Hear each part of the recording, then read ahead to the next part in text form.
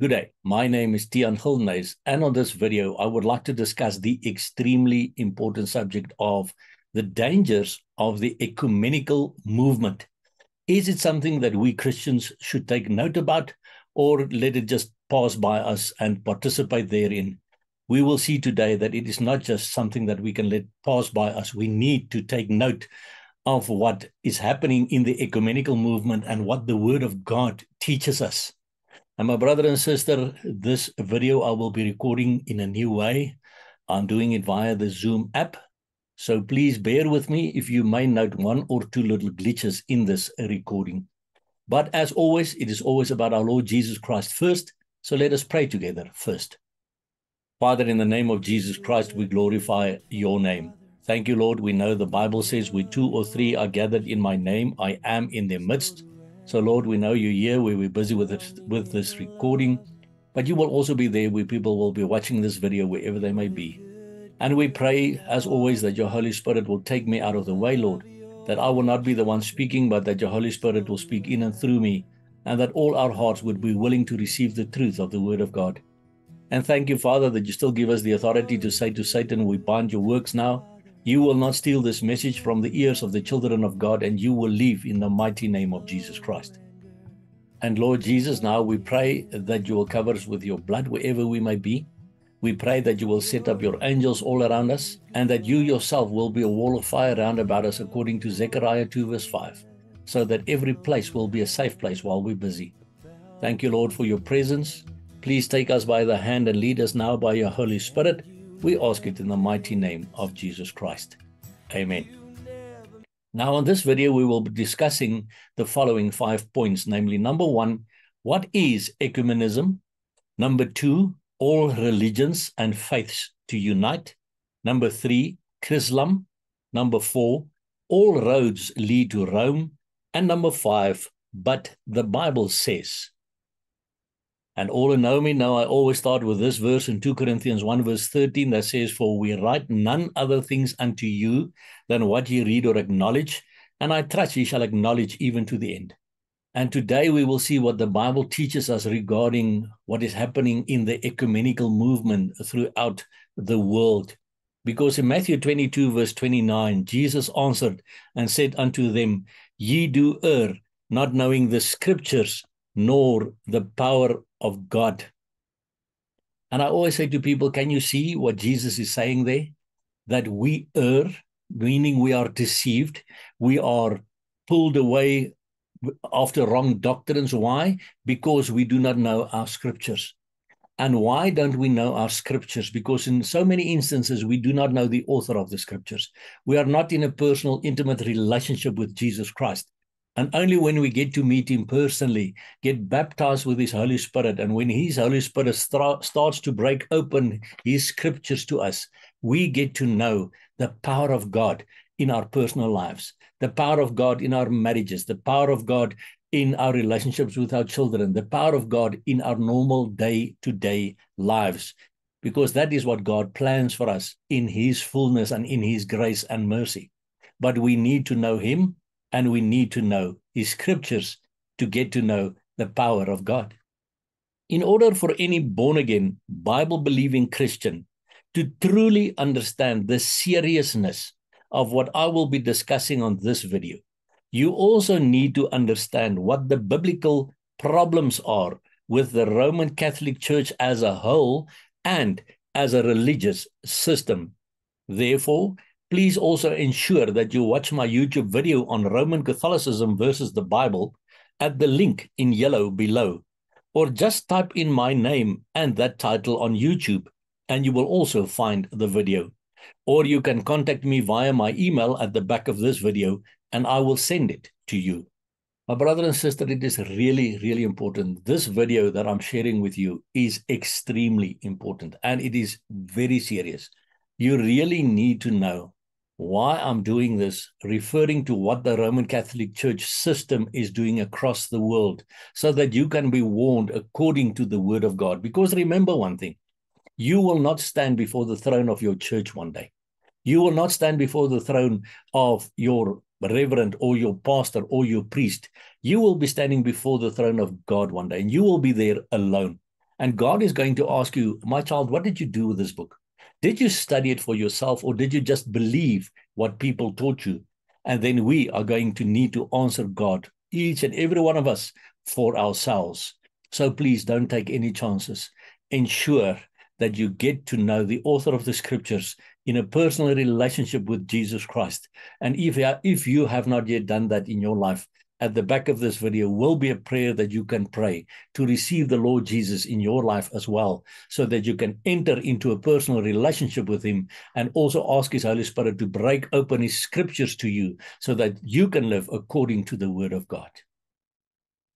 Now, at number one, let us discuss the question what is ecumenism? And people, please, I always say, don't just believe me go and do your own research. There are loads and loads and loads of articles uh, written about this whole movement rushing across the world, pulling in many Christians into this as well. So please go and do your own research as well and ask for the leading of the Holy Spirit, and He will lead you to the right ones. Now, according to Britannica.com, ecumenism is the movement or tendency toward worldwide Christian unity or cooperation. The term of recent origin emphasizes what is viewed as the universality of the Christian faith and unity among churches. The ecumenical movement seeks to recover the apostolic sense of the early church for unity in diversity, and it confronts the frustrations, difficulties, and ironies of the modern pluralistic world. It is a lively reassessment of the historical sources and destiny of what followers perceive to be the one holy Catholic and Apostolic Church of Jesus Christ. The word ecumenism is derived from the Greek words. You can see the one there meaning the inhabited world, and the other one meaning house, and can be traced from the commands, promises, and prayers of Jesus, they say. After the International Missionary Conference held at Edinburgh in 1910, Protestants began to use the term ecumenism to describe the gathering of missionary, evangelistic service, and unitive forces. So, initially, the idea behind ecumenism was in line with what the Word of God teaches. But during and after the Second Vatican Council of the Roman Catholic Church between 1962 and 1965, Roman Catholics used ecumenism to refer to the renewal of the whole life of the church undertaken to make it more responsive to separated churches and to the needs of the world. So from that time onwards, the Roman Catholic Church took over this whole idea behind ecumenism. And the idea is, my brother and sister, as you will see as we go along, to pull any other churches out there into the arms of the Roman Catholic Church. The initial aim of the ecumenical movement, headed by the Roman Catholic Church, was to unite all so called Christian groups under one universal body, the World Council of Churches, which was formed in 1941. So, who is behind the World Council of Churches? The Roman Catholic Church. The ultimate aim of this body is to form a one world religion headed by the Pope of Rome. What they have succeeded in doing so far is to bring most denominations back to Rome. Many Protestants, Baptists, Pentecostals, Charismatics, and even evangelicals are now joining the ecumenical movement, and they all think it's the right thing to do, and it sounds so right. But meantime, they are slowly and surely being pulled back under Roman Catholicism. You all know the story of the little frog swimming in the water, and the water is getting warmer and warmer and warmer, and eventually it just dies because it does not realize the water is getting warmer. So it does not jump out of the water. The same thing is happening here over ages. Since the Second Vatican Council held in 1963, the ecumenical dialogue has extended to non Christian groups such as Jews, Buddhists, Muslims, Hindus, witch doctors, etc. The aim now is to draw all religions into a global one world religion under the leadership of the Pope, as we will see. But we read in Matthew 24, verse 3 and 4 the disciples came unto him privately, saying, Tell us, when shall these things be? And what shall be the sign of thy coming and of the end of the world? And Jesus answered and said unto them, Take heed that no man deceive you. See what Jesus says? It is interesting to note there, my brother and sister. What does Jesus say? He says, Take heed that no man deceive you. So, what is the first sign? When the disciples asked him, What will be the signs of your times and your before you return for the second time? He said, Take heed that no man deceive you. So, the first sign of our times is deception. And my brother and sister, I tell you today, the ecumenical movement is proof of this deception. And many people are being deceived through what the Pope and the Roman Catholic Church is busy doing all over the world. So beware that no man deceive you. Why? Because there is also a warning that there may be a curse upon your life. Because in Jeremiah 17, verse 5, thus saith the Lord. And I always say to people, remember, if you read the word Lord like that in capital letters in the King James Version of the Bible that I use, L O R D, in the Hebrew it is written Yod, Hey, Vav, Hey, because our Father's name in Hebrew is Yahweh.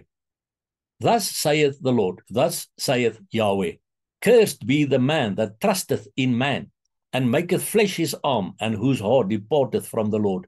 My brother and sister, please do not put your trust in any man. That's why I say, also, don't just believe me.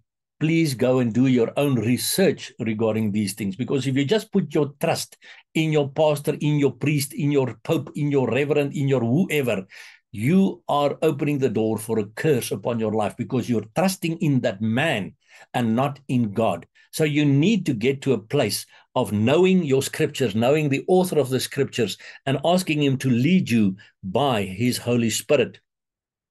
But let us now see what is Pope Francis's view of what happened on the day of Pentecost. This is the homily of Pope Francis that he gave at St. Peter's Square on Saturday, the 30th of September 2023. That's only a few months ago at the inauguration of 21 new Roman Catholic cardinals, and we'll get back to this as well.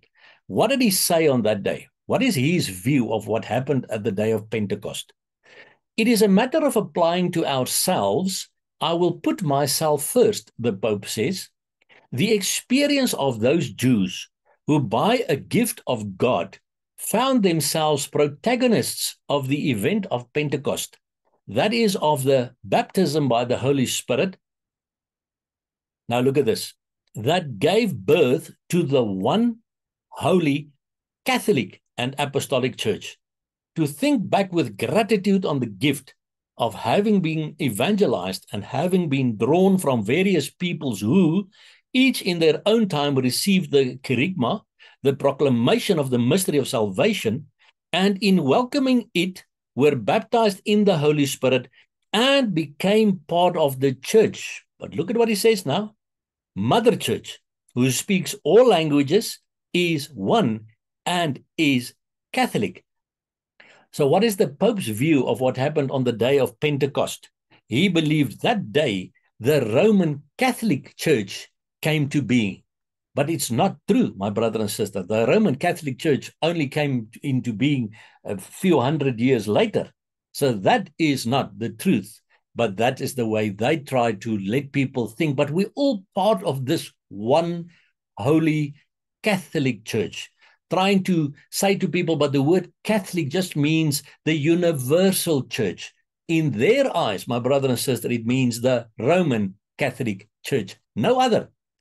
And that is why at no point in time have they publicly renounced all the things they have done in the past over the ages in torturing Protestants, killing Protestants, and all these kinds of things. They have not done that publicly. But what are they doing? They're starting to pull back Protestants back into their arms so that they can control them in a totally different way. And the people don't see this true Bible believing evangelical Christians who oppose this false unity and who refuse to compromise the gospel of Jesus Christ to make it more acceptable and non offensive to all faiths, because that's what they want to do with this ecumenical movement to make the gospel of Jesus Christ more acceptable to other faiths and non offensive to all faiths. And people like you and I who will stand up for the truth and who refuse uh, to compromise, we will be called fundamentalist cults or sects. These believers will undoubtedly be earmarked for persecution in the future, just as it was during the Dark Ages when the Bible was on the list of forbidden literature, because only the priests and the cardinals and the bishops and the Pope could read the Bible for their people in those Dark Ages.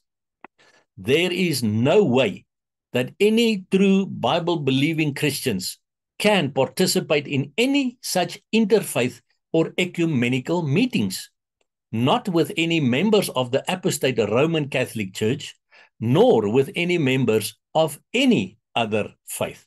According to the Marymount University, interfaith is seen as, look at this definition now. Interfaith, in its most basic sense, is when people or groups from different religious or spiritual worldviews and traditions come together. Did you know interfaith cooperation also can include atheists and agnostics and people of no faith? Interfaith cooperation is the conscious bringing together. So it's a planned thing. It is the conscious bringing together of people from diverse religious, spiritual, and ethical beliefs. So it's all about bringing them all together and saying, but we all worship the same God. Yes, we all are children of the same God. Yes, we may differ in certain small little things, but remember, we are all part of the same God. No, it's not true, my brother and sister. These are the lies that people are being pulled into through these interfaith and ecumenical meetings. Because the God of the Bible is clear that he does not give his glory to any other. In Isaiah 42, verse 8, we read, I am the Lord, I am Yahweh.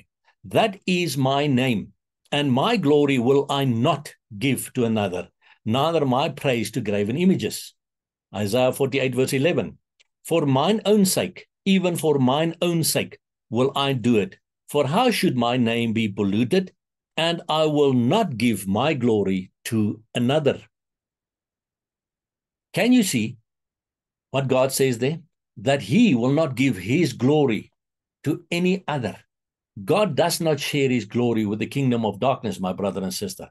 So I really want you to take note of these two verses here that God is very clear on that he is God alone. He does not share his glory with any other. No born again, Bible believing Christian can come together with or stand on a stage or participate in a meeting with people of other faiths, including the Roman Catholic Church to pray for any common goal because that's what they usually say. Oh, but we're doing this for a common goal, for the common good of our town or our city or our community. For example, to fight against poverty in your community, or to ask for rain, or to pray for the safety of the local community, or for so called city transformation, or for the spiritual needs of the city. Because that means those true Bible believing Christians in that meeting will then thereby agree in prayer to other gods, for example, Allah, Mother Mary, Buddha, etc. In that way, they will be giving the glory that belongs to our God alone, to Yahweh alone. They will be giving that glory to other gods. And the above two verses are clear that he does not give his glory to any other. Yet, that is what many proponents of the so called New Apostolic Reformation do. And my brother and sister, I also have an ebook on the New Apostolic Reformation. What is that? That I can send to you if you would like to read that, or you can find it on ebooks under my name. Yet, that is what many proponents of the New Apostolic Reformation do all over the world, including here in South Africa using all the right arguments to justify what they are doing, like using the buzzword unity at all costs. But yes, we must be in unity with all Christians and other Christians. And thereby immediately implying that the Roman Catholics are Christians according to the word of God, which they are not, my brother and sister. If you go and watch my video on Roman Catholicism versus the Bible, you will see they do not serve the same God that you and I do according to the word of God. However, the ecumenical and interfaith meetings between Christians and people of other faiths, including the Roman Catholic Church, are most definitely not the spiritual unity that the Bible talks about that must exist between believers of the true God of the Bible. My brother and sister, we really need to take serious note of what is happening with these interfaith and ecumenical meetings. It sounds so right. It sounds as, as if we're doing things together for the common good, but it's not about the common good. It's about the salvation of souls according to the word of God.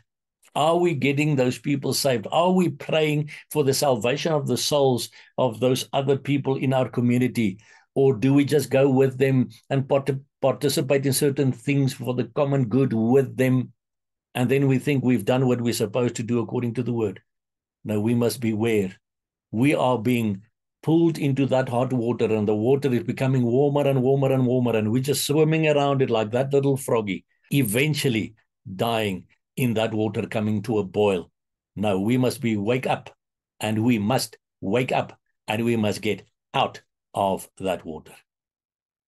Now, number two, let us look at the fact that all religions and faiths are to unite. Remember that earlier quote. Since the Second Vatican Council held in 1963, the ecumenical dialogue has extended to non Christian groups such as Jews, Buddhists, Muslims, Hindus, witch doctors, etc. The aim now is to draw all religions into a global one world religion under the leadership of the Pope. And people say, no, it can't be. There's no way that the Pope and the Roman Catholic Church will allow that. Now, let us look at some pictures here. And this is on available on internet wherever you may search. That's why I say, please, my brother and sister, even if you may be a Roman Catholic watching this video of mine, and before you get very angry, ask the true Holy Spirit of God to reveal these things to you and go and do your own research. And there we see the Pope being blessed by an Aborigine witch doctor. And these are pictures of different popes that the Roman Catholic Church has had over the past number of years. The top right hand corner, the Pope and a voodoo witch doctor. Bottom left, the Pope and the Buddhist Dalai Lama. Bottom right, the Pope and the Hindu religious leader. Then the Pope and Muslim religious leaders. Top right hand corner, more idolatry in action. Pope John Paul II kisses the Quran. So he is known to be the vicar of Christ, yet he kisses the Quran.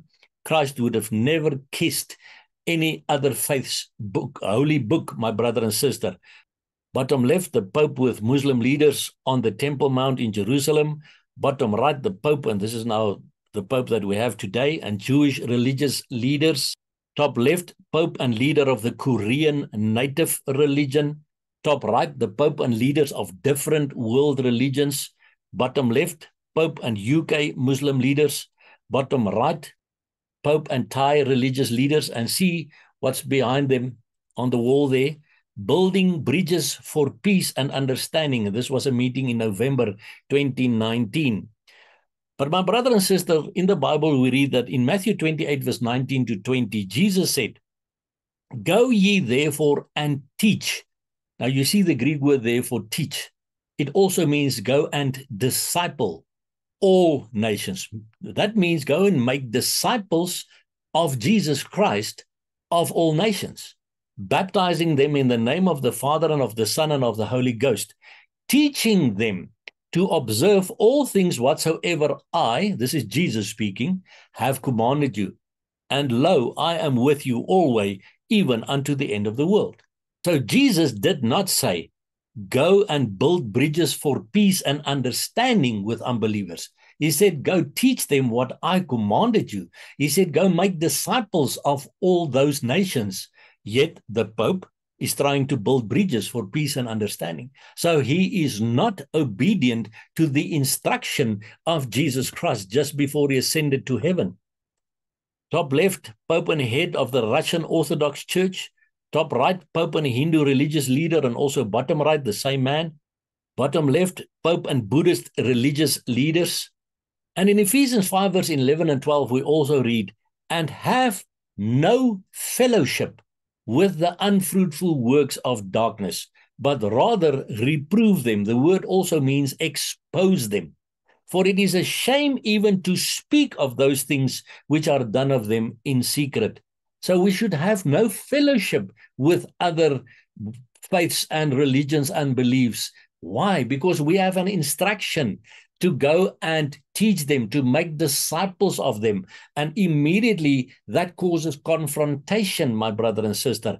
And that is why these people would rather have fellowship with other religions rather than trying to make disciples of them because then, then they don't have confrontation anymore. So they don't want to be confronted by these other people swearing at them or chasing them away or even killing them because they are trying to convert them to Christianity.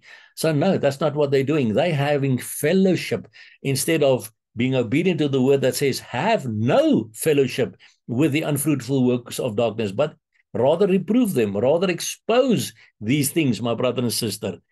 Thus, if you associate yourself, that means have fellowship with the Roman Catholic Church and what they do, you are thereby actually also associating with all the other groups they associate with. And how can you do that if you call yourself a born again, Bible believing Christian follower of Jesus Christ of Nazareth? And we see the warning that Paul gives in 1 Corinthians 10, verse 21 Ye cannot drink the cup of the Lord and the cup of devils. Ye cannot be partakers of the Lord's table and of the table of the devils. My brother and sister, you cannot stand with one foot in the world and one foot with God and think it's acceptable to God. Remember, it's not about how your pastor views this or how your reverend may see this or how your family may see this. It is about how God sees this. God is a jealous God, my brother and sister, and he does not share us with the kingdom of darkness. Now, let us look at some other pictures now of the Pope and James Robison, and the Pope and Kenneth Copeland. At the bottom left hand corner, we have a picture there of Pope John Paul II meeting Benny Hinn, and we read what is written there. Pope John Paul II, who led the Catholic Church for 26 years, met with Pastor Benny Hinn twice to address shared concerns about spiritual needs around the globe. Jesus did not say, discuss the spiritual needs of the world with unbelievers. Here we have a picture taken in June of 2014 of John and Carol Arnott, Brian Stiller, Kenneth Copeland, Thomas Schirrmacher, Jeff Tunnicliffe, James Robison, Betty Robison, and Tony Palmer meeting with the Pope. Now, who are these people having this ecumenical meeting with the Pope and praying with the Pope and sharing these things with the Pope? John and Carol Arnott are the founders of the Catch the Fire. Look at this now network of churches. This is where the Toronto Blessing started in 1994. Brian C. Stiller is global ambassador of the World Evangelical Alliance, the global association which represents some 600 million evangelical Protestants. Evangelical Protestants, my brother and sister, you and I who call ourselves born again, Bible believing Christians are also evangelical Protestants. So these people say they are representing 600 million evangelical Protestants having an ecumenical meeting with the Pope. Kenneth Copeland, well known prosperity gospel preacher in the New Apostolic Reformation and televangelist. Thomas Schirrmacher is a German Christian moral philosopher and a specialist in the sociology of religion and religious freedom. He serves the World Evangelical Alliance as Secretary General. He is also an Anglican realignment bishop. Now, the realignment bishop is bishops who believe that there's nothing wrong to have gay preachers or gay priests or gay bishops and cardinals in the church. That is what a realignment bishop means. Jeff Tunnicliffe is a global strategist, advisor, peace activist, and author. He was the Secretary General for that same World Evangelical Alliance that we see at the top from 2005 to 2014. James Robison is an American televangelist and the founder and president of the Christian relief organization Life Outreach International. Tony Palmer served as a bishop within the Communion of Evangelical Episcopal Churches and held informal ecumenical dialogue with the Catholic Church through Pope Francis until his death in July 2014. These people are all having and were all having, and I tell you, are still having ecumenical meetings with the Roman Catholic Church and with the Pope. Here we see Billy Graham. The Pope and Billy Graham, their first meeting was on 12th January 1981. And then they had a second meeting in uh, January of 1990. Evangelist Billy Graham met with Pope John Paul II and Vatican officials a week ago for a series of discussions on Eastern Europe. And look at this now and relations between Catholics and evangelicals around the world, it was learned this week. My brother and sister, if you know that the Roman Catholic Church do not believe the same God that you and I do. They are not born again, Bible believing Christians. Their souls need salvation. You cannot discuss relations between Catholics and evangelicals. You need to pray and you need to share the gospel with the Roman Catholic so that they can also be saved and be with the Lord Jesus in all eternity. But in South Africa, even our main denominations are also becoming part of this whole ecumenical movement. At the left hand side, we see from the Facebook page of the Apostolic Faith Mission of South Africa. At the bottom here, encircled in red, it says one of the AFM's drivers is ecumenism, meaning the promotion of unity and cooperation among Christians and churches.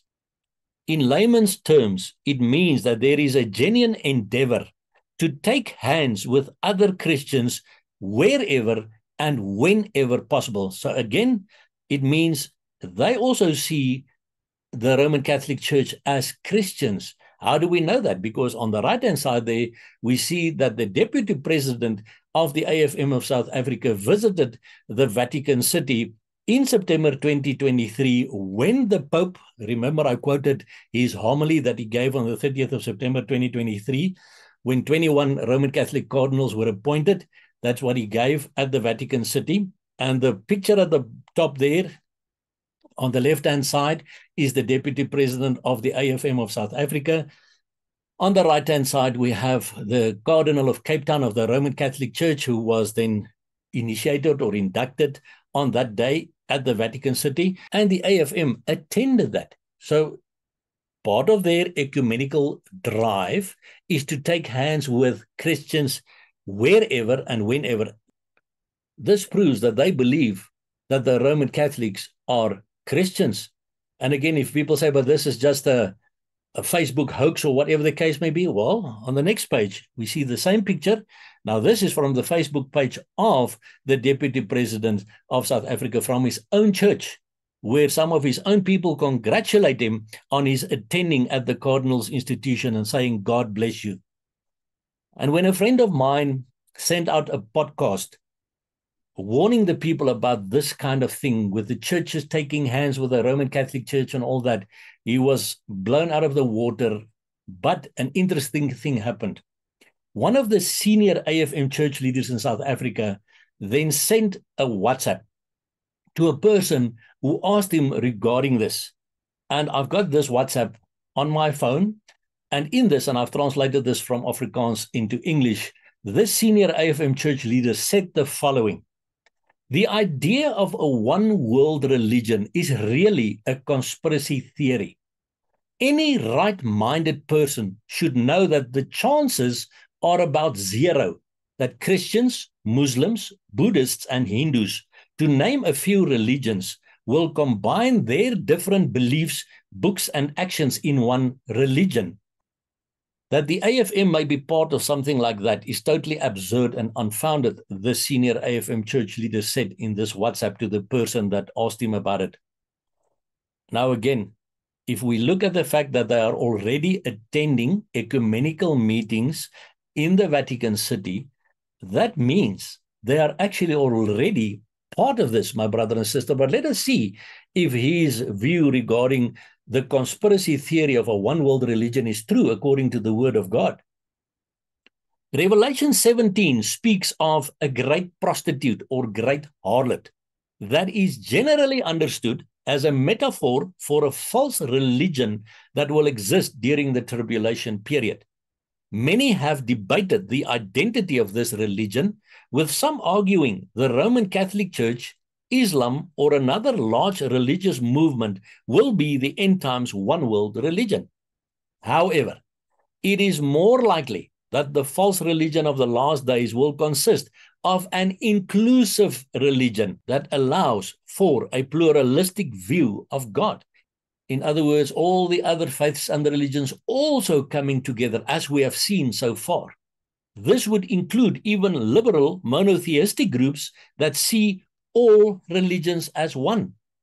And as we have seen, the Pope is also already busy doing these meetings, pulling these people close under the Roman Catholic Church, pulling other faiths and beliefs, coming together with, bringing together other faiths and beliefs, and Protestants, and evangelicals, and charismatics is doing the same thing to everybody across the world and are willing to worship the Antichrist in the last days. Because, my brother and sister, the Roman Catholic system is the Antichrist system of the last days. Some wonder if this one world religion already exists today. I believe it does through these ecumenical and interfaith meetings. The specific one world religion of the end times cannot be fully developed until the tribulation when the Antichrist rules. That I agree with. But the wheels are turning and rolling and it's already up and running. Because this author also writes, however, the growth in religious pluralism, interfaith dialogue that promotes the idea that all religions are equal and the erroneous teachings that many ways lead to God or to heaven all exist today. These views certainly foreshadow what scripture predicts will be more prevalent in the future when the world unites under one religion under the power of the Antichrist. So, my brother and sister, it is most definitely not just a conspiracy theory that all these religions are busy uniting and will unite eventually, finally, under the Antichrist. But this movement is pulling everything in that direction. Now, look at this. This is a booklet that commemorates the opening of the Nanhua Buddhist temple in Bronkhorstspruit in 2005. The person that came to me for counseling showed me this, and he sent me these pictures from this booklet. Now, in this booklet, there are different letters from different organizations welcoming this new Buddhist temple in Bronkhorstspruit. And I'm only going to show you three letters. The first one was written by the South African Council of Churches. And all our large denominations in South Africa are part of the South African Council of Churches, who are then also obviously part of the World Council of Churches, who we have now seen is actually run under the auspices of the Roman Catholic Church, now, look what the president of the South African Council of Churches wrote to the leader of this Buddhist temple in 2005. The opening of your main temple is an important symbol of presence to us all in South Africa. Such a presence is not only welcomed, but is also experienced as welcoming to all people of faith in this country. This distinguished and distinguishing presence, meaning the presence now of this Buddhist temple, will contribute, as your community has been doing, to the building of respect and tolerance, the restoration of human dignity, and the development of unity in our nation. We regard this great day of the opening of the temple as a contribution to the very substance of our common humanity and the future hope of the country and its people. My brother and sister, I can really think how Jesus would have stood in the temple of God saying, you know what? That temple that they have over there for uh, Baal, and that temple that they have over there for Ashtaroth, oh, it's acceptable. Welcome those people of Baal. Welcome those people of Ashtaroth. No, he would never have done that. But this is now the president of the South African Council of Churches, under whose auspices all the churches in South Africa, the main denominations are all part of. They welcomed this Buddhist temple. Another one, the Diocese of Pretoria, the Church of the Province of South Africa, the Anglican Bishop of Pretoria also saying, I'm very delighted to receive an invitation to participate at the opening and inauguration of your main temple. It is an honor for me and my diocese to be associated with you and your work of faith. You see, associating themselves with Buddhists, Christians, because the Anglicans say they are Christians, they are associating themselves now with the work of faith of the Buddhists. Yet the AFM leader said it is a conspiracy theory, theory to think that Christians will associate themselves with unbelievers, with Buddhists, with Muslims. Yet we see it. We see it happening in South Africa and it's happening all over the world. And another letter here, Rhema Ministries of the well-known pastor Ray McCauley, where he says, among the many changes that have taken place in the new South Africa has been the opening of communication and dialogue among different religious groups, the forming of the National Religious Leaders Forum, of which he is the president, has allowed not only interaction among ourselves, but also the opportunity to hold hands on issues of common concern. You see, they all use this, these words, the common concern, the common good, the common this, the common that. We live in exciting times, and the voice of religion needs to be heard in our nation to ensure that peace, tolerance, and justice are held high in all of our communities. My Bible says the voice of the gospel of Jesus Christ needs to be heard, not just the voice of religion, including Buddhist religion and any other religions. He concludes to say, I take this opportunity to wish you every good thing on the dedication of your main temple. My brother and sister, and then people say Christians are not being pulled into a one world religion, to think that Christians are not being slowly but surely encompassed by the Roman Catholic Church and all the people they associate with. Jesus did not say, warmly welcome idol worshippers when they come into your country, town, or community. Now, here is another one. This was from a newspaper clipping, the well known Afrikaans Beeld newspaper on the 14th of February 2017, where uh, an article was written by a member of the well known Mosaic Church in Johannesburg, where this person explained about a Sunday morning service where the pastor in that church had a Sangoma, that is a witch doctor, a Hindu, a Muslim, a Buddhist, and a Christian sitting in a row on the stage. And then they each had a few minutes to explain their different religions to the people in the auditorium. And this author then concludes to say, We are a diverse community, but everybody believes in the same God, even the witch doctors, even the Buddhists, even the Hindus, and etc. So this article is titled Father's House Has Many Mansions. No, my brother and sister, we do not serve the same God, but in this way, through these little actions, these little interfaith meetings and ecumenical meetings, Christians who do not know their scriptures are being misled, are being deceived even by their own pastors, their own leaders, letting them think, yes, but we all serve the same God. We don't need to try and convert the Muslims anymore. We don't need to try and convert the Buddhists anymore because, listen to this, we all serve the same God. So Christians are being pulled into this thing, my brother and sister. Can you see, my brother and sister? Christians are being pulled back under the auspices of the Roman Catholic Church they don't in any way accept responsibility for the things that they've done over the centuries in the past. But now they just receive, they're just pulling everybody under their auspices, all the different religions. not just the Christians, Buddhists, Hindus, Muslims, etc., as we will also see as we go along, but also Protestants, evangelicals, charismatics, Episcopals, all going back to Rome thinking, yes, we're all Christians. Yes, we can all do, do this together. No, my brother and sister, we cannot. You really need to study your own scriptures. You really need to go and do more research about what I'm talking about on this video so that you can see there is no way that you can participate in any interfaith or ecumenical meetings.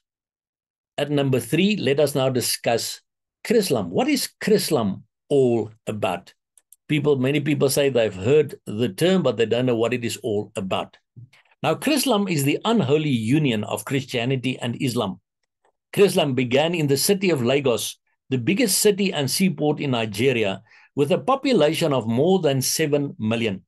The author of this unholy union of Islam and Christianity was a man by the name of Tela Tella, who started his religion in the 1980s. Like so many other false religions, Tella claims that an angel of God told him to create this mixed religion that would bring peace between Muslims and Christians. What makes this so bad in the United States are the people who are promoting this movement.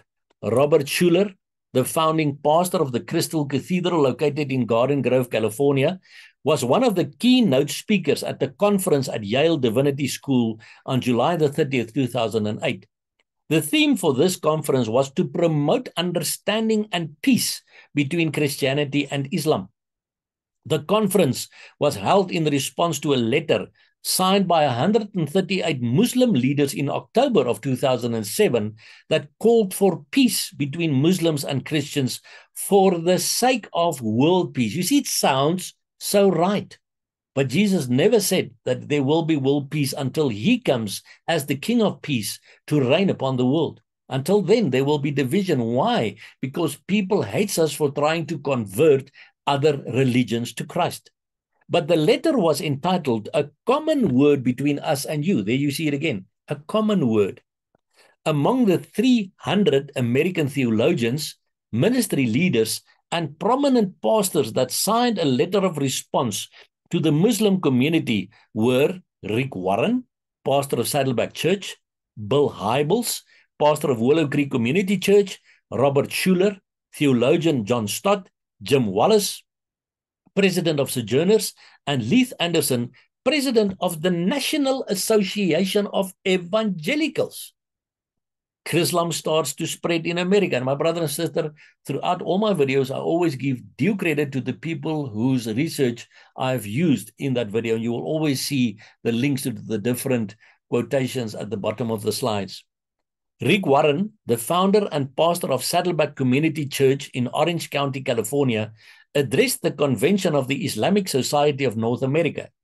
Warren stated that Muslims and Christians must work together to combat stereotypes, promote peace and freedom, and solve global problems. Christians and Muslims, faithmates, soulmates, and now workmates. Chrislam. Before we shake your hand in responding to your letter, we ask forgiveness of the all merciful one. And my brother and sister, the all merciful one for the Muslims is Allah, their God that they worship. So Rick Warren now says, we ask forgiveness of Allah and of the Muslim community around the world. Jesus did not say, promote peace and freedom and solve global problems together with unbelievers. Neither did he say, ask forgiveness of false gods. Rick Warren partnering with mosques to teach that God and Allah are the same. Saddleback Church in Orange County, California, home to super pastor Rick Warren, Obama inauguration, purpose driven life, etc., has joined forces with Southern California mosques to adopt a three step plan for ending enmity between evangelical Christians and Muslims. The plan's first step calls for Muslims and Christians to recognize they worship the same God. This is now what Rick Warren and these Muslim leaders try to teach their members. But my brother and sister, I also have a YouTube video on Christianity versus Islam that you can go and watch for yourself to see that we do not serve the same God as the Muslims, just as we do not serve the same God as the Roman Catholic Church.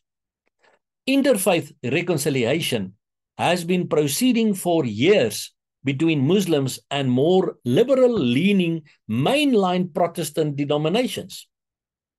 The effort, informally dubbed King's Way, caps years of outreach between Warren and Muslims. Warren has broken Ramadan fast at the Mission Viejo Mosque met Muslim leaders abroad and addressed 8,000 Muslims at a national convention in Washington, D.C. And there is a picture of Rick Warren speaking at the Islamic Society of North America. Even in South Africa, Christians are being deceived through billboards like these saying, Jesus, find him in the Quran. Quran loves him. Quran respects him. Quran orders belief in him. Yeah, the point is, they believe that Jesus was a prophet. They do not believe that he is God or the Son of God. But Christians that do not know this are being deceived. And this is what I discuss on my other video on Christianity versus Islam that you can go and watch for yourself. But because people do not know this, they say, oh, but you see, oh, the Muslims also believe in Jesus, not as God. You and I believe in Jesus as God, as part of the Trinity of God. That is why we do not believe in the same Jesus that they do. And even the Dutch Reformed Church in South Africa, which is one of the biggest mainline denominations, I've got this problem. And this is now a quote from an article which was written in October 2023, where the Dutch Reformed Church's approval of joint worship with Muslims came under fire. Because this was now a point that was put on the agenda that the Dutch Reformed Church can now also start to pray along with other people that in the past were seen as unbelievers, like the Muslims because it's part of the ecumenical drive. It is part of the interfaith meetings. They don't drive our Great Commission anymore. Our Great Commission is go make disciples of all nations. That's not what these mainline denominations are doing any longer, my brother and sister. Let's look at the Roman Catholicism and Islam. The following passages taken from Nostra Aetate, the declaration on the relation of the church with non-Christian religions of the Second Vatican Council, it was promulgated on the 28th of October 1965, address Islam specifically. Now look at what the Roman Catholic Church said about Islam. Upon the Muslims too, the church, this is now the Roman Catholic Church, looks with esteem. They adore one God, living and enduring, merciful and all-powerful, maker of heaven and earth, and speaker to men. They strive to submit wholeheartedly even to his inscrutable decrees, just as did Abraham, with whom the Islamic faith is pleased to associate itself. Though they do not acknowledge Jesus as God, they revere him as a prophet. So this is now acceptable to the Roman Catholic Church that the Muslims do revere Jesus as a prophet, even though they don't accept him as God. But so as long as that is true, according to them, we can associate ourselves with the Muslims, they say. They also honor Mary, his virgin mother. At times they call on her too with devotion. And actually they do write about her in the Quran as well. Because I also show in my other videos, my brother and sister, how Islam as a religion was started by the Roman Catholic Church. There is also information available regarding the Roman Catholic influence in the life of Muhammad through people that surrounded him at that time. And it can also be shown uh, with the necessary research. And that is why the Muslims also have certain references in their Quran, which are exactly the same as certain references which are contained in the apocryphal books of the Roman Catholic Church. Consequently, this is now again the Roman Catholic Church speaking about the Muslims. Consequently, they prize the moral life and give worship to God, especially through prayer, almsgiving, and fasting. Although in the course of the centuries, many quarrels and hostilities have arisen between Christians and Muslims, this most sacred synod urges all to forget the past and to strive sincerely for mutual understanding. So you see, let's forget the past and let's just strive for mutual understanding.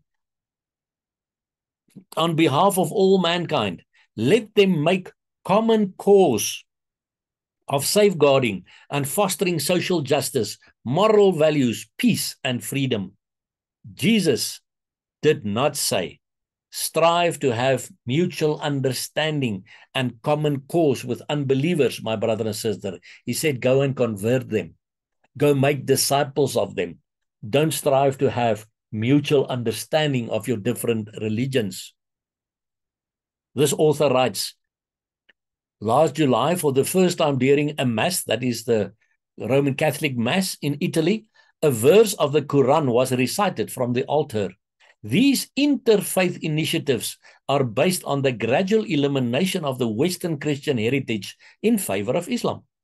The Catholic clergy is probably disoriented by Pope Francis himself. He was the first to allow the reading of Islamic prayers and Quran readings from the Vatican. Remarks made by Pope Francis at St. Patrick's Cathedral in Manhattan have sparked a firestorm of criticism from those that do not believe that Christians and Muslims worship the same God. Many have taken the Pope's remarks as a major step in the direction of a one world religion. And the truth is that the Pope has made other such statements in the past. In recent years, the theory that Christianity and Islam are just two distinct paths to God, among many others, has rapidly gained traction all over the planet. Some religious leaders have even gone so far as to try to merge Islamic and Christian practices, and the term Chrislam is now often used to describe this ecumenical movement. Pope Francis also wrote in 2015 I would like to express two sentiments for my Muslim brothers and sisters. See how Pope Francis called the Muslims my Muslim brothers and sisters. Firstly, my greetings as they celebrate the feast of sacrifice. I would have wished my greeting to be warmer.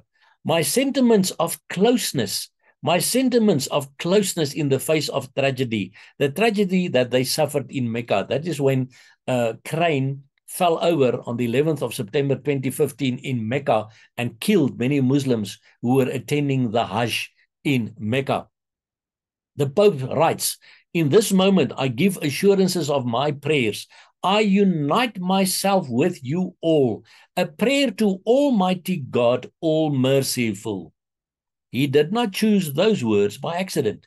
In Islam, Allah is known as the all merciful one, as we also saw Rick Warren referring to the all merciful one. If you doubt this, just do a Google search. Now, Jesus did not say, unite yourself with unbelievers, no matter what the cause may be. That's not what he said, my brother and sister. And this is not the first time Pope Francis has used such language. For instance, the following comes from remarks that he made during his very first ecumenical meeting as Pope. I then greet and cordially thank you all, dear friends belonging to other religious traditions. First of all, the Muslims, dear friends belonging to other religious traditions. First of all, the Muslims who worship the one God, living and merciful, and call upon Him in prayer, and all of you. I really appreciate your presence in it, I see a tangible sign of the will to grow in mutual esteem and cooperation for the common good of humanity. The Catholic Church is aware of the importance of promoting friendship and respect between men and women of different religious traditions. Jesus did not say, grow in mutual esteem and cooperation for the common good of humanity with unbelievers, my brother and sister. Can you see everything that the Pope says is directly in contradiction to the Word of God? My brother and sister, if you do this kind of research that I've done, and you just compare it to what the Word of God says, you will see it's two to- totally opposing things. And there is no way that you and I, if we are born again, Bible believing Christians, children of God can ever participate in any of these interfaith or ecumenical meetings with either any members of the Roman Catholic Church or any other faiths or religions. At number four, let us now discuss all roads lead to Rome. And first, I want you to watch this little video and see what the Pope himself says and what other people say on this little video. La mayor parte de los habitantes del planeta se declaran creyentes. Esto debería provocar un diálogo entre las religiones. No debemos dejar de orar por él y colaborar con quienes piensan distinto. Confío en Buda. Creo en Dios. Creo en Jesucristo. Creo en Dios. Allah. Muchos piensan distinto, sienten distinto, buscan a Dios o encuentran a Dios de diversa manera. En esta multitud, en este abanico de religiones, hay una sola certeza que tenemos para todos. Todos somos hijos de Dios. Creo en el amor. Creo en el amor. Creo en el amor. Creo en el amor. Confío en vos para difundir mi petición de este mes, que el diálogo sincero entre hombres y mujeres de diversas religiones conlleve frutos de paz y justicia. Confío en tu oración.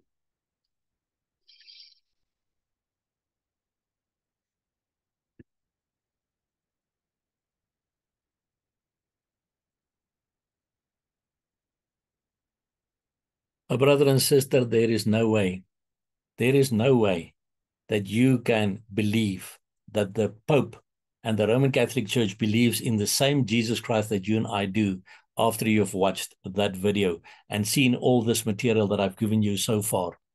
But let us now read what this author writes. Over the past number of years, I've been writing articles and producing radio programs in an attempt to urge evangelical Christians to wake up and see the light. And this is the same thing I'm doing with this video, my brother and sister, is to hopefully let some evangelical Christians wake up and see the light. Many Bible believing Christians who were once concerned about false teaching and apostasy seem to have lost their passion for the truth and have little discernment. Instead of standing firm against unbiblical ideas and experiences, they now are promoting them. And the reason for that is because Jesus himself said that some of the signs of the times before he comes will be, as we read in Matthew 24, verse 12, and because iniquity shall abound, the love of many shall wax cold. Many people that did have a love for the true God of the Bible, their love is now waxing cold. They are falling away from the truth. Why? Because they're following after things like this. The interfaith meetings, yes, but all roads lead to Rome. Everybody is believing the same. We're all children of the same God and all that. So why spend lots of time reading your Bible? Why spend lots of time in prayer? Why spend lots of time trying to convert other people? No, you don't have to do that anymore. So their love is now waxing cold. And Jesus also warned in Luke 18, verse 8 Nevertheless, when the Son of Man cometh, shall he find faith on the earth? And because of things like these, people are falling away from faith, my brother and sister. This author proceeds to write While we have been able to document that the emerging church movement is clearly another road to the Roman Catholic Church, it seems fewer professing Christians are concerned. Darkness has crept over the church the same way an avalanche sweeps down a mountain. Every day, more and more unsuspecting victims are being swept up and buried. In an attempt to sound another alarm, I'm going to present a number of statements taken from a book titled The Road to Rome Modern Journeys to the Catholic Church. On the back cover, the following statement is made explaining what the book is about. This collection of conversion stories relates how former Baptists Presbyterians, Salvation Army officers, Plymouth Brethren, New Age believers, and evangelical Anglicans all made their way along the path to Rome. You see, the Roman Catholics don't get saved and become born again Bible believing Christians like the Protestants. No, no, no.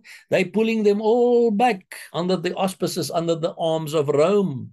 And you know, when you show these things to the people, they say, Oh, but if everybody is doing it, why can't I do this? Because God said in Exodus 23, verse 2, Thou shalt not follow a multitude to do evil. Thou shalt not That has not changed. Thou shalt not follow a multitude to do evil. So the fact that everybody is doing it does not mean that you and I should do this as well, my brother and sister. A second statement provides more information regarding the purpose for publishing the book. Quoting again from the back cover. By introducing some of the new wave converts, so these are all people converting from evangelical Protestant backgrounds to Roman Catholicism. By introducing some of the new wave converts, the path to Rome gives a glimpse of a possible future for the church. As we enter the third millennium, Catholicism, evangelicalism, and orthodoxy will continue to converge, they say. From this book, a vision emerges in which old cultural, national, and doctrinal controversies become increasingly irrelevant. My brother and sister, the word of God can never become irrelevant. Never, ever. Because you must remember, the Roman Catholic Church believes that the word of the Pope is infallible. So if the word of the Pope contradicts the Bible, the people must believe the word of the Pope and not the Bible. So there is no way that you can say doctrinal contro controversies become irrelevant. Then, as the age of reform draws to a close and the millennium of division gives way to a second spring, the church may once more speak with a united voice. You see, they make it sound so good. But this is not a united voice according to the word of God. This is false unity. And what does false unity cause? Let's read what happened in Genesis 11, verse 4 to 6 at the Tower of Babel. And the whole earth was of one language and of one speech.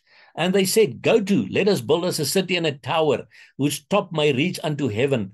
And let us make us a name, lest we be scattered abroad upon the face of the whole earth. And the Lord came down to see the city and the tower, which the children of men builded. And the Lord said, Behold, the people is one, and they have all one language. And this they begin to do. And now nothing will be restrained from them, which they have imagined to do. You see, this is false unity.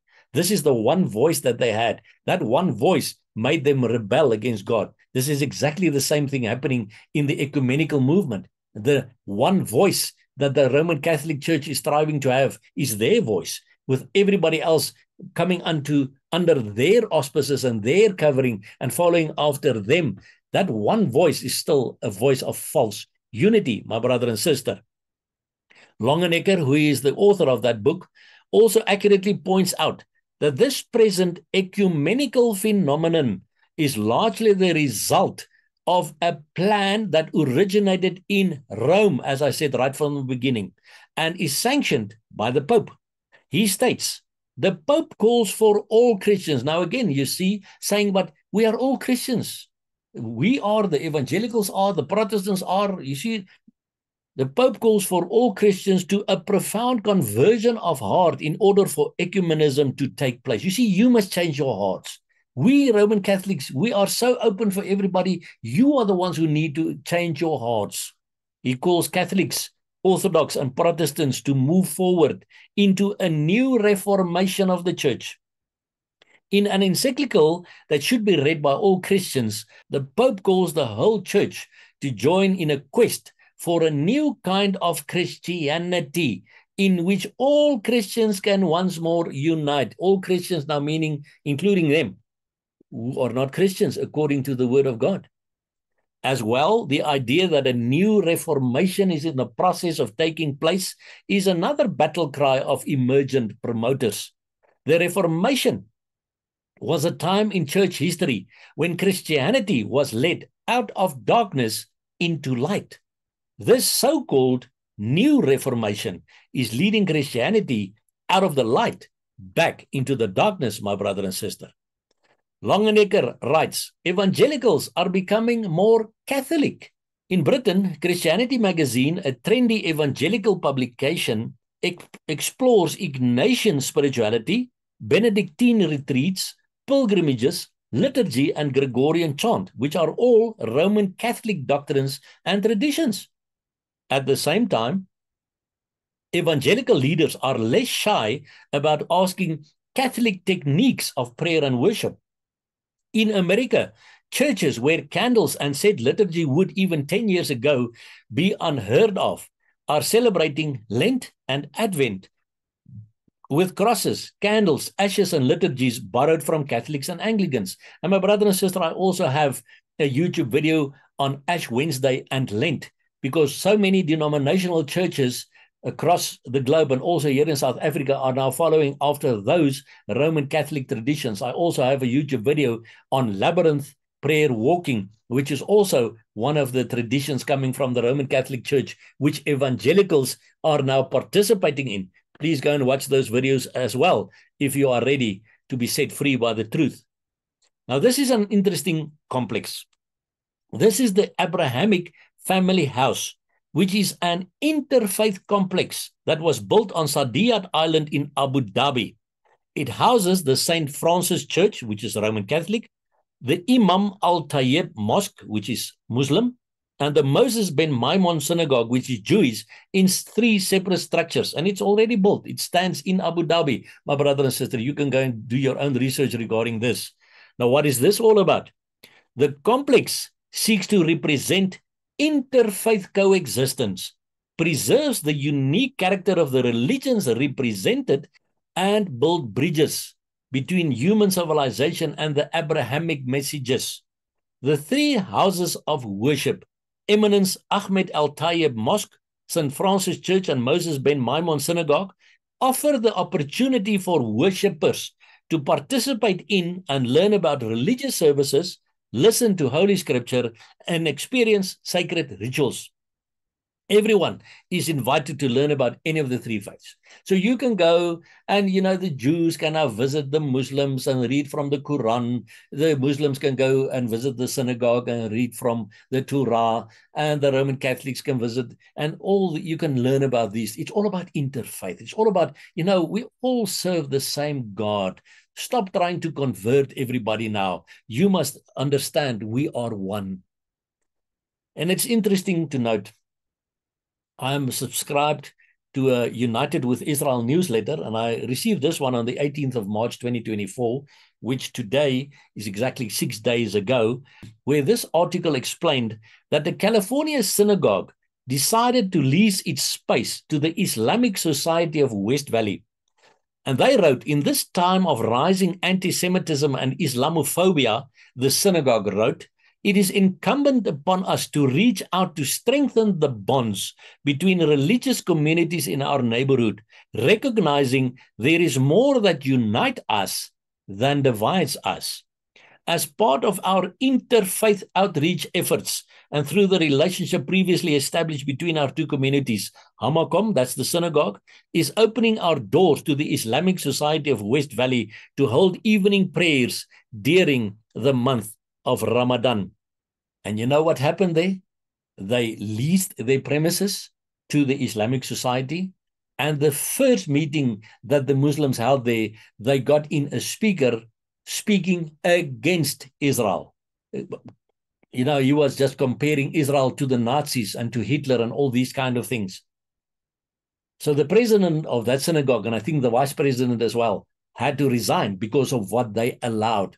Because they think, you know, we're causing this interfaith, bringing peace, mutual understanding. But in the meantime, there is no mixing. As the Bible said in the end times, you know, iron and clay do not mix. Yet that's what they're trying to do with this ecumenical movement and the interfaith meetings. But it boomerangs because it's not according to the word of God, my brother and sister. Now let us end at point five with, but the Bible says. What does the Bible say regarding these type of things? The first verse is 2 Corinthians 6, verse 14 to 17, that says, Be ye not unequally yoked together with unbelievers. Be ye not unequally yoked together with unbelievers. If you want to go and pray with Roman Catholics, with Muslims, with Buddhists, for any common good, for any specific common goal, you are being unequally yoked together with those unbelievers. Now look at the yellow parts. For what fellowship has righteousness with unrighteousness, and what communion hath light with darkness. So many people go and participate now in the Roman Catholic Mass, the communion they have. What communion hath light with darkness? And what concord hath Christ with Belial, who is the devil? Or what part hath he that believeth with an infidel, which is an unbeliever? And what agreement hath the temple of God with idols? For ye are the temple of the living God. How can you, as the temple of the living God, walk into a Muslim mosque or a Roman Catholic cathedral and think it's okay, it's acceptable? No. What agreement does your temple have with idols? Wherefore, come out from among them and be ye separate, saith the Lord, and touch not the unclean thing, and I will receive you. This is what the Bible says. Do not be unequally yoked to, together with unbelievers. If you have fellowship with the Roman Catholic Church, if you associate with them, your church, your denomination, your whatever, you are also having fellowship with everybody else that they are associating with. You are not coming out of them. You are not being separate the way God wants you to be separate, my brother and sister. And 2 Peter 2, verse 1 and 1 to 3 says, But there were false prophets also among the people, even as there shall be false teachers among you, who privily shall bring in damnable heresies, even denying the Lord that bought them, and bring upon themselves swift destruction. And many shall follow their pernicious ways, by reason of whom the way of truth shall be evil spoken of. It's exactly what we've seen today. This whole thing regarding the ecumenical movement or the interfaith meetings these are damnable heresies, my brother and sister, because they're pulling people away from believing in the true God of the Bible, Jesus Christ Himself, and to become saved and to be converted and become children of God. They're being pulled away into a false sense of security, but we all are children of God. Oh, we all love the same God. No, we don't, my brother and sister. 1 Timothy 4, verse 1 says, Now the Spirit speaketh expressly that in the latter times, and you and I do live in the latter times, my brother and sister, some shall depart from the faith. Because remember, Jesus said, because iniquity shall abound, the love of many shall wax cold. And Jesus also said, Shall I find faith upon the earth? So the Spirit speaketh expressly that in the latter times some shall depart from the faith, giving heed to seducing spirits and doctrines of devils. My brother and sister, the ecumenical movement and the interfaith initiatives are doctrines of devils. Please do not be pulled into that. And if you may have been pulled into that, but were ignorant of the things that I share with you, praise the Lord for this verse in Acts 17, verse 30, that says, And the times of this ignorance God winked at, but now commandeth all men everywhere to repent. You may have been ignorant about this, my brother and sister, and the things that you participated in until this day that you've now watched this little video of mine. You may have been ignorant regarding these things that I've shown you upon this little video of mine, my brother and sister. But now, see that verse says, but now, God commands everyone everywhere to repent, to ask the Lord for his forgiveness, for your ignorance. And then he says, My child, I winked at that ignorance, but now you must repent. Repent means Turn away from that. Don't be part of that anymore. Get out of it. Come out of her, my people, he says. Be ye separate. Don't be like the multitude. Don't follow the multitude to do evil, God says. And in Revelation 18, verse 4 and 5, we read, And I heard another voice from heaven saying, Come out of her, my people, that ye be not partakers of her sins, and that ye receive not of her plagues. For her sins have reached unto heaven, and God hath remembered her iniquities. My brother and sister, you need to take note of what God says here. This whole Antichrist system, which was initiated by the Roman Catholic Church, which is actually the Antichrist system itself, is now pulling you into this whole ecumenical interfaith thing. And God says, Get out of her, come out of her, that you be not partakers. You see, what is the interfaith movement? What is the ecumenical movement? Bringing together people of different religions coming together. God says, Come out of her. Don't come together with them. Don't be brought together with them. Come out of them. and be ye separate, that ye be not partakers of her sins, and that ye receive not of her plagues. You have been warned about this, my brother and sister, and I pray that the Holy Spirit will work in your heart regarding this thing. And remember, we do not serve a dead God because Jesus Christ said in Revelation 1, verse 17 and 19, I am the first and the last.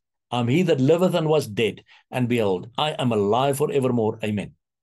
And all honor and glory goes to Jesus Christ of Nazareth. So let us pray together.